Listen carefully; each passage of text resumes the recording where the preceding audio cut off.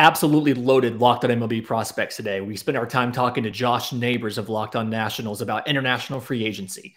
Second year in a row, the Nationals have went big for a guy, in this case, outfielder Cristian Vaquero from Cuba. Is he worth it?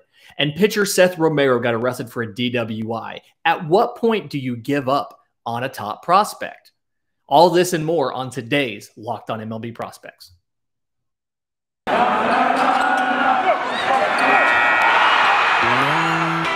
You are Locked On MLB Prospects, part of the Locked On Podcast Network. Your team every day.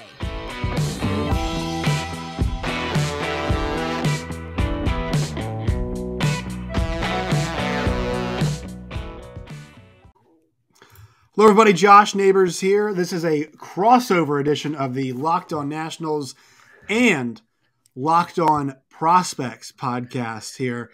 Uh, once again, I am Josh Neighbors. Lindsay Crosby in the house. There's a whole lot to get to, and it comes it comes to the the Nationals and prospects right now. So glad to talk to you. You guys have absolutely been bu- been busy recently. I actually led off Monday's show talking about uh, what you guys did in international free agency. So let's get after it. Yeah, let's do it. I mean, this is this is kind of a time where the Nationals have have shined, if you will. Um, they're really bad. I think it's fair to say they're bad at developing prospects normally, like the, the you know the guys that are let's just the American kids is, is the one that the ones they have some problems with. Um, you know, but the internet the international free agency has been a uh, has been a pretty good uh, you know experience for them, and they just signed Cristian Vaquero. Uh, Four point nine million dollars uh, is the signing bonus, and you know a lot of people don't understand how this works, how this process works. So, explain to folks why international kids are separated from the draft, why these two things are not together, and and kind of how this process for international kids works to as opposed to the scouting process for you know kids in high school and in college. Absolutely. And if you want some more insight behind the whole process, la- uh, last Wednesday's episode of Locked on MLB Prospects, we actually brought in Jeff Paternostro from Baseball Prospectus, and he and I mm-hmm. spent about 30 minutes breaking this down in detail. But the long story short on this is there's not the the same infrastructure for youth baseball in Latin America like there is in the States. And so anybody who's not part of the US or Canada is put into free agency internationally. The way that works is a lot of the teams, I think now that Cuba's building of the now that that the Orioles are building their academy, all 32 teams now have academies in Latin America. They'll send mm-hmm. scouts mm-hmm. down there. They'll start scouting these kids when they're, I mean, 11, 12 years old. And right oftentimes the teams will go ahead and have verbal agreements in place with some of these players around age 14. And mm-hmm. where this is different from domestic when it comes to the draft and free agency and everything is in Latin America, once you have a verbal commitment with a team, the other team stops scouting you. Mm. And so some of these players haven't been seen by any other MLB team except for the one that they're signing with since 2019. Uh, but typically what they'll do is they will make a verbal agreement with the team once they have turned 16 the next international free agency date after that which is the second year it's been moved to january instead of july uh, they will go ahead and sign that deal. They have up to 11 months to sign the deal. They don't have to do it on saturday. That's just the first day they're allowed to. Um, after 11 months anybody who hasn't signed uh, can has to wait a one month dead period. And whatever bonus money is left over that your team has, because the bonus pools are also set by MLB and they're structured based on how much money you spent in free agency last year. Uh, any money you have left in that pool at the end of the 11 months is forfeit. So a lot of teams try to make sure they have commitments for most of this money a year out. Even though you can't legally announce these deals until two weeks before signing right. day, they've had these deals in place for two years or so. Hmm. So it, it, kind of reminds me, you know, the way you describe it, much like international soccer. This is this is kind of the model that international soccer uses. Now they get those kids in. Uh, maybe the scouting is the same age, but they get those kids in a lot earlier. Mm-hmm. And I mean, so many of them do not end up at the club that you know that they sign with. Um, this is a bit different, right? These kids usually end up playing, at least in the minors, for the clubs that sign them. Yeah. So typically, once a, a I want to say guy, but once a kid signs, they'll sign yeah. at age 16, maybe 17. They'll typically spend the next calendar year still in Latin America. They'll play winter ball, they'll play summer ball, and then the next spring they'll make it into the states and they'll actually enter rookie ball and then usually low A or high A. So most of these guys will make it at least to high A. And the thing about international free agency is this is where teams can really get um, bang for their buck. They can sign a lot of players, and it's you can get more players through free agency internationally than you can through the MLB draft. And so a lot of organizations rely on these young kids to fill out their entire lower mm. levels of their minor league system. Even if it's a guy that they don't necessarily think has a shot to make it to the pros, it might be $5,000 or $8,000 that he gets to sign. And so you can go ahead and sign him. There's a very small financial contribution uh, from your on your part. But if they even play, you know, a month of games in your minor league system, financially it was worth it. So teams will typically max out that entire pool and sign as many players as possible. But the Nationals have done something a little bit different with their approach. And I kind of appreciate what they've done the last two years. Yeah, so the, the, the big gun they bring in here, and they were rumored for there are a couple guys that they, that they were the favorites to land, but they end up landing Cristian Vaquero. And a lot of fans, you know, they, they see the news, but they're not familiar with the player because he's 17 years old and obviously he plays internationally, right? This is not a, and, and I'd even say, you know, even for kids that get drafted in the MLB draft, sometimes one, they're high schoolers, so fans definitely have not seen them. Mm-hmm. And two, you know, there's not a lot of fans who watch a lot of college baseball, right? I mean, there are some diehards who do. Um, you know, I've enjoyed my fair share of college baseball when I was in school covering it, you know, in the SEC and got to see a lot of those kids. They're awesome, but not a lot of people going out of their way to see these kids. And these kids are even further removed. So Cristian Vaquero, they hear a lot of stuff about him, but what can fans expect from him? And I expect in, in quotations because they're not going to see him immediately, right? This is right. not a guy you're going to see in the major leagues anytime soon. But what can they expect? What kind of player are they getting? Okay, so uh, he's 6'3", 180. So he's he has good size for a center fielder. And when you watch him defensively, he's pretty good already. He's got plus speed, he's got good defensive instincts, and he has a plus arm. So you feel like he's a guy that can actually stick at center versus you know the best athlete who's in center and has to move to a corner later. Uh, offensively, obviously, you know, bats left-handed, but he has a a a fundamentally sound swing. So he's got plus power potential. He does need to fill out his frame a little bit. 6'3, 180 is a little on the skinnier side, uh, but it's very projectable. He doesn't have a lot of bad weight. He can get stronger. He can kind of grow into those power tools. He has picked up switch hitting recently based off some of the recent reports. Like since since 2019, you know, over the layoff, he worked a little bit on switch hitting. Uh, it's still a project. His right-handed swing isn't anything special, but it does look like he's a guy that – offensively and defensively should be able to, if everything breaks right, to play center field for quite a few years in Washington. What's the timetable for kids like this? You know, for for guys who are blue chippers, if you will, towards the top side of the, uh, you know, and, uh, I mean, I'm not sure if you're a fan of other sports, but like, could you give a compare? You know, is this a strong class of international free agents? Is this a weaker class of international free agents? Is the dollar value there for him because he is the top guy, you know, you know, it just in this class, and it happens to be he's getting that money. Like if you could make a comp, maybe you know how strong is the class, stuff like that, so people have an yeah. idea of kind of what what this is. What what does it mean they're signing Cristian Vaquero? Okay, so so this is one of the classes where we actually don't have as much information. This class and last year's class, because of the pandemic, because of the shutdown, we we missed a lot of of in person scouting of a lot of players. Now, some like a guy like Cristian Vaquero, obviously, he got a big bonus because we do have some film, we do have some video of him. We this is a, a pretty decent class of prospects, but he is more of a known quantity than a lot of other guys. And part of that's because he's from Cuba as compared to where a lot of guys are from the Dominican, Venezuela, uh, stuff like that. And so he's played a little bit more competitive baseball. He's played with some of the Cuban national teams that do stuff as as youth. So we have a little more information on him. Uh, the class as a whole, a lot of stuff to still figure out, but I feel good about him. Uh, same thing with last year's guy, Armando Cruz. Same idea, big big bonus, and uh, right. another player that we have more information on than your average international signee, simply because of the situations around where he played we know more about it, so we feel a little better projecting that out. And another kind of question on this: Is there any is there any part of the process that's different with kids from Cuba as compared to other places due to the, um, you know, I guess political situation is one way to say it, but just kind of the you know the government situation, I guess you could say.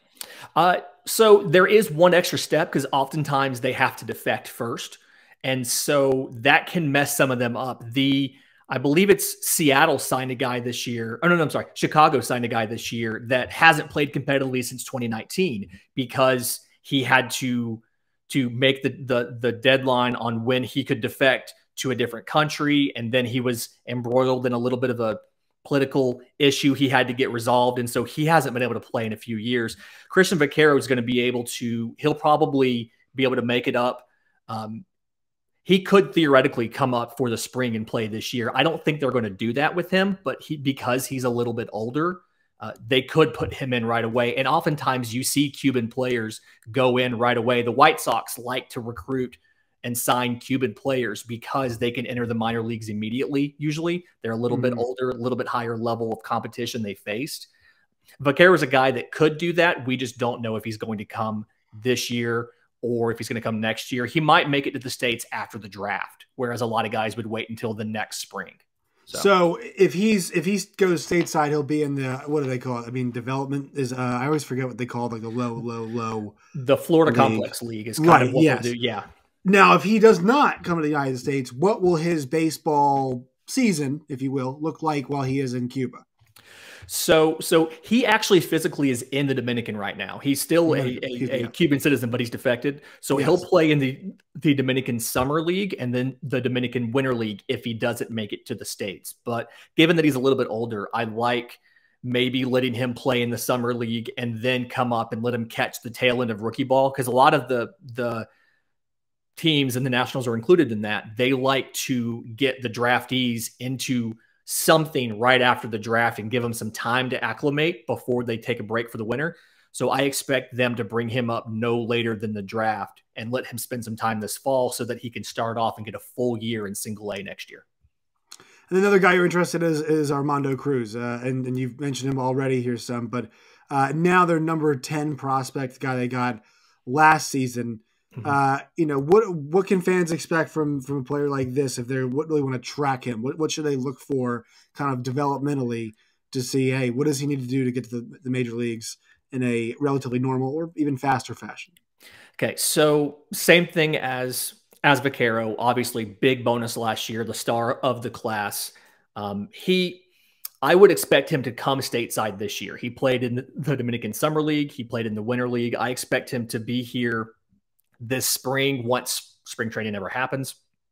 Fantastic defensive shortstop, um, both physically and mentally. He has not only quick feet and a plus arm and a good transfer, but he has great instincts. You rarely see him uh, take the wrong step at the crack of the bat. You rarely see him be out of position to make a play. And I would go so far as to say when he does make it to Washington, I think the day he debuts in MLB, he's probably defensively going to be one of the five best shortstops in Major League Baseball when he debuts. I mean, he's he's that skilled, and that's part of the reason he got such a great bonus. Now, offensively, he's very much a work in progress. Uh, as he matures and adds strength, and we haven't gotten a ton of reports out of how he did in the Dominican Summer League, but as he adds strength, I still don't think he'll be a huge power threat. But if he can just get to average offensively, he's going to be a great addition to Washington simply because the bat is so incredibly. I'm sorry, the his defense is so high level yeah. and so elite. Um, so when when teams stockpile multiple guys like at a position, right? So you, you give you invest heavily in Armando Cruz, you invest heavily in Brady House. Mm-hmm. You know what? What does that look like? Like, are, are you are you saying okay, at least one of these two guys will pan out and be a uh, a shortstop for us, or is the idea like you know we're going to bump one of these guys to third at some point in time? What, what's kind of the calculus? Because you see in other sports, you know, you, you don't usually just repetitively draft uh, at the same position. Right. So so there's two factors at play here. The first factor is typically your best athletes on the baseball field, especially in youth baseball, are going to be shortstop and center field. So part of it is there's so many more shortstops. If you're drafting somebody uh, or you're citing a free agent who's in, you know, internationally as like a first baseman, he's somebody who was limited enough in youth athletically that he's probably not going to work out at the MLB level. So part of it's just there's so many shortstops. But then part of it too is as they develop, some guys will either skills or body will just outgrow the position. Brady House is a guy, and I had some notes on him uh, for later, but he's a guy who I really think is going to end up outgrowing short and is probably going to be a corner infielder, third or first. And I, I don't do a ton of player comps just because I don't like to give people, uh, you know, bad expectations. But when I watch Brady House, I really think about watching Austin Riley at Double A Mississippi, just kind of how Austin big, Riley, big kid, right? Big, big, yeah, big dude. Yeah, yeah. I mean, I mean, like big hit can hit the ball with authority to all mm-hmm. fields, but it's not just all muscle. I mean, he's got great bat speed. He has a bat path that's geared for power. And and so you know, and he's a good enough athlete where you can stick him at a corner and he can pick it up pretty quickly. You can stick him. Austin Riley spent a year playing the outfield for Atlanta and looked pretty right. good. And I, I feel like Brady House is somebody you could do that with as well. But for him, it's really just a. I mean, he's already two fifteen. He's probably going to put on an extra five or ten pounds of muscle, and I just don't think he's going to have uh, the same the same speed and range to play a shortstop at a above average level, but he could play a pretty good defensive third base. So I think that's what it is. Is it's a combination of there's so many guys at that position, and right. not all of them physically or athletically are going to to be able to stick at that spot. Like Brady House is a guy who, like I said, I, I expect him to be your third or first baseman. I could see him being the successor to Josh Bell at first very mm. easily. Not necessarily saying that that's the best place for him. That might be a um, a waste of some of his athletic talents, but he definitely could do that in the future for the Washington Nationals. It's the new year, and new year means New Year's resolutions. If yours is about getting fit or eating healthier, check out Built Bars. Built Bars are covered in 100% real chocolate. It's the only protein bar that tastes like a candy bar. 130 calories, 17 grams of protein. It's great for you. So go to built.com, check out all the flavors coconut almond, peanut butter brownie, raspberry cookies and cream, salted caramel, mint brownie, just some of the regulars. And then they have stuff in rotation, limited time things that come out all the time. So go to built.com. While you're there, use promo code LOCKED15 for 15% off your order. That's promo code LOCKED15 at built.com. All right. So news we have to hit here, and this this hits a prospect who is – you know, this is a story in sports that we see all the time. Kind of a troubled, very talented player. Seth Romero gets a DWI this past weekend back in Texas, where he is from. This has been a recurring theme for him. And the reason why I wanted to talk to you about this is that, you know, it's it's the interesting idea of all right, has the kid had so many chances to where you got to cut him loose? But on the other side of it, somebody's going to pick him up, right? It, it's almost like once once the team that has the player that f's up cuts the kid loose or cuts the player, they don't be kids, cuts them loose, depending on the um, the crime, if you will, it, it, kind of absolves them in a way. It's it's kind of like okay, I get my fresh start now. But if you're the Nationals, do you cut a kid loose when you know that somebody else is going to pick up pick him up and be like, you know what, fresh start here in Cleveland, fresh start here in Cincinnati, or even worse, fresh start here in Atlanta, fresh start here in Miami, fresh start here in Philadelphia. You, you get the idea of, of what yeah. I'm saying here. Uh, fresh start in New York, right? So where do you kind of come down in the situation? Because this is somebody that you know you and I you and I were talking before. It's not going to be a very good baseball team next year. The Nationals, perfect opportunity to get a guy like Seth Romero either in your pen or maybe depending on how things go in the rotation at some point, just to give him some looks and see how he is. You know, what do you think of this situation playing out right now for Seth Romero and the Nats? So, what's tough about this situation? I mean, obviously, there's a lot going on, and you know, right. But they've seen so little of him, but what they've seen of him has looked really good. I mean, his his his stuff isn't. He, you're still kind of projecting what Seth Romero is going to be, but what you've seen, I mean, he's had off the field troubles, he's had Tommy John, so he didn't pitch above you know A until 2020 low A. He went to the alternate training site. He came up for a, for a, I think, what, three appearances in August 2020, hurt his non throwing hand, ended his season there. But what they've seen, I mean, he's got, he's got um, a fastball that looks good. I wouldn't say great, but looks good. He's got a slider that is, I mean, a plus pitch. It's pretty nasty. He's got a changeup. It's a, like it's a complete separator. Uh, he has he seems to have the, right demeanor. He's fearless. He attacks the zone. He can throw all of his pitches for strikes. He has the makeup of a guy who would be a great starter. They just haven't seen enough of him. And I understand, like, as much as I want to think, okay, this kid screwed up multiple times they're going to just rid their hands of him. It's like you said, someone's going to pick him up if they do. And so, and if there's a team that can afford to lose a pitcher, I feel like like the Nationals have a lot of pitching prospects, but I the understand none of them why make they don't it. want to. None of them make it, man. You I was know, about to say the yeah. thing is they're not going to want to get rid of him because he's right. so promising, and so I think you're going to see Washington find a way to keep him. And I feel like mm-hmm. every organization can take on one player who has significant off the field issues and is in the news for the wrong reasons and you can kind of get away with with rehabbing the image of one guy. And I think the fact that he hasn't spent a lot of time above low A makes it easier for them to do that. I would expect Washington to try to quietly like they may quietly suspend him. They may, you know, not put a lot of publicity on what they do, but I expect them to keep him in the organization simply because, like you said, so many of the pitchers haven't been panning out recently, and he looks like he might if they can ever get him um, sustained appearances at a minor league level to show them what he can do. So, as much as I'd love for him to just be done with baseball altogether because he seems like maybe he's not the right character fit for the game. Right. I fully expect Washington to find a way to keep him in the system, and he can be the rehab project, kind of like Osuna, Roberto Osuna was for the Astros, where mm-hmm. they came they came in and they said, "Well, he's our one rehab project we're going to work on, and we can get away with this because he's the only one." I don't feel like there's anybody else in the system right now who's having noteworthy problems like this. They could probably get away with it. And, and I would say the you know the and Roberto Osuna that's a good point of you know having the one guy.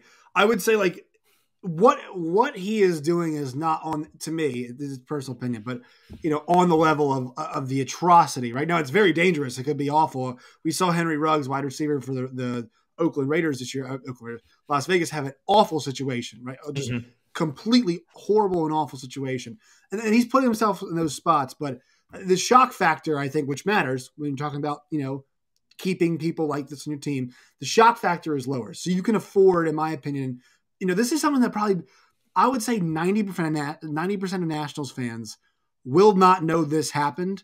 And I'll just say people watch the games, people who you know are in the stands, you go around poll them probably and say, Do you know about Seth Romero's DWI? They probably say no. They probably say they might even say, Hey, who's Seth Romero? Romero right? Yeah. Um, so, you know, it's one of those things that you can get away with. I think the frustration would be for the Nationals. How many times are we going to have this conversation? I think he got sent home from camp a couple years ago. You know, the reason why they were able to draft him where they drafted him was because the issues he had at the University of Houston. And mm-hmm. so this is a kid that it's just how many times will you put up with it? Uh, but then once we talk about the other side of it is like, do you want to see him go somewhere else? Because and especially for a team, you know, that that's like he he might have it. He might. And for a team that's guys that got like Erick Fedde, you know what I mean, who is a, a, another guy who's a first round pick, who not an off pitcher, pitcher, not not the worst pitcher in the world, but right. somebody who does not appear to be an effective third, fourth, maybe even fifth starter, right? Uh, on a on a potentially winning team, you know, this guy could be a first round pick that actually pans out for them. And for a team that's missed so often, I feel like it's just too valuable of an asset for them to let go in the end of the cover kind of you know, once we hit the conversation ending point, I feel it's like they just can't let him go. Yeah, and like you said, I think the the differentiator here is the fact that he is so low in the system. If he was a member of the of the Washington bullpen and he was one of those guys that you flex, right. he made spot starts. He was he was in Washington. I don't think he'd be part of the organization. I think he, they would have already, well, they can't right now with the lockout, but I think in a normal offseason, they would have already cut ties with him if he was one of those on the cusp of breaking out and just hadn't done it. But he was in Washington and they got the publicity. I feel like, other than locally in Houston, you're not going to hear a ton about this. And I think you're right when most fans probably wouldn't even know who he was.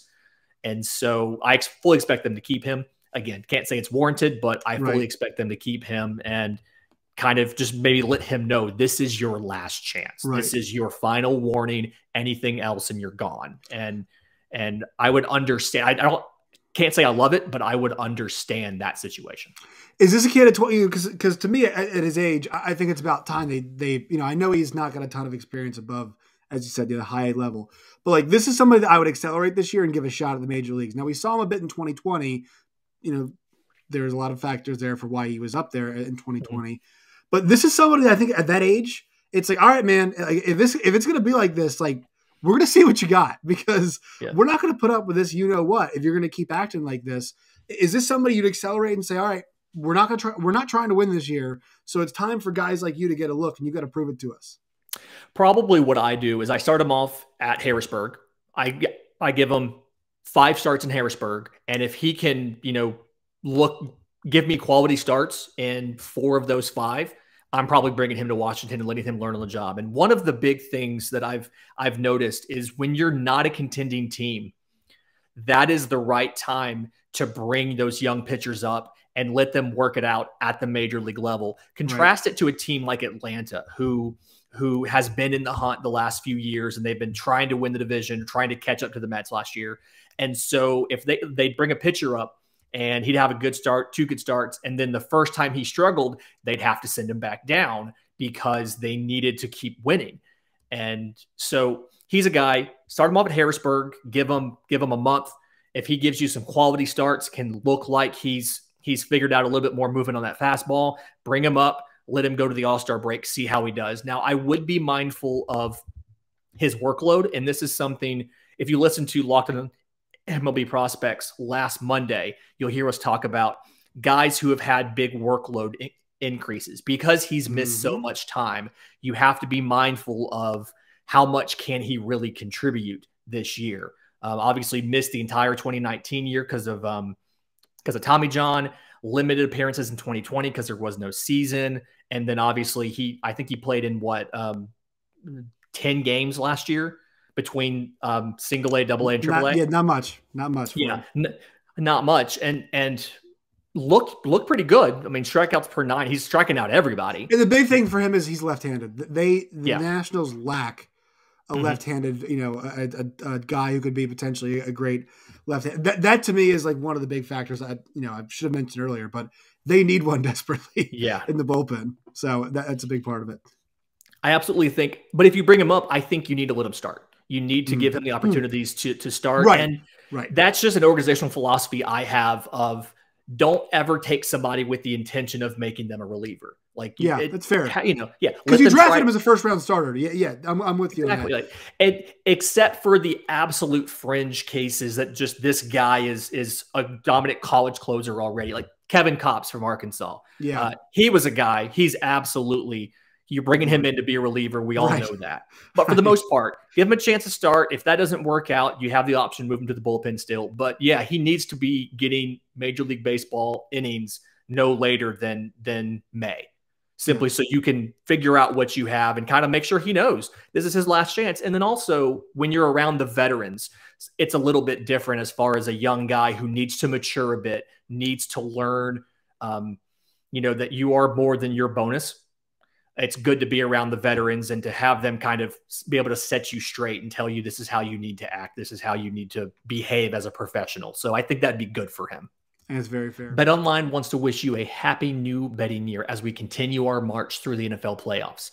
As Bet Online remains the number one spot for all the best sports wagering action for 2022. So, on this new year, take advantage of this new updated desktop and mobile website to sign up today and get your 50% welcome bonus on your first deposit. The promo code is locked on to get started, whether it's football, basketball, hockey, boxing, or UFC you can take advantage of all of the amazing offers across all of 2022 because Bet Online is the easiest and fastest way to wager on all of your favorite sports.